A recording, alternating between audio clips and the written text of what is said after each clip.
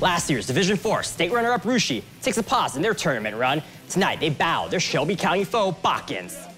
In the first, the bases are loaded with one out, and the Raiders get off to a hot start. Drew counts, sends this one to deep center, and it's off the wall. That drives in not one, not two, but three runs. Raiders jump out to an early 3-0 lead.